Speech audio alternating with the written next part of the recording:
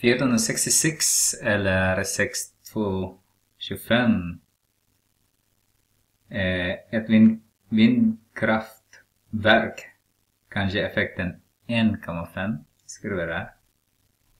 MW eller megawatt står för megawatt. Hur många watt är 1,5 megawatt? Så har vi 1,5.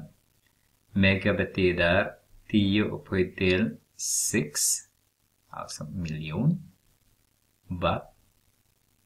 Så har vi 1,5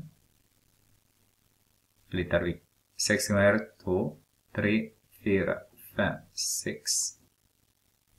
Så har vi nollor där. Så har vi 1 miljon femhundra tusen watt.